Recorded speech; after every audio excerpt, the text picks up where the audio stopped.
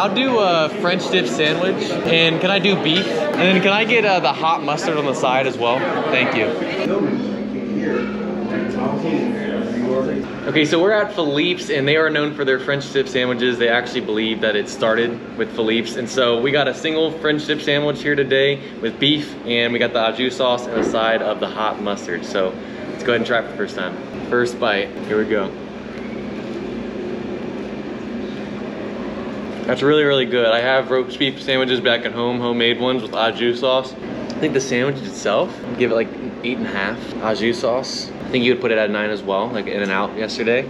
With the spicy or the hot mustard, I put it at an eight and a half. I don't think it adds much. I mean, the spice is cool. I think overall I would give it, I'd give it a nine though. I'd give it a nine like the In-N-Out.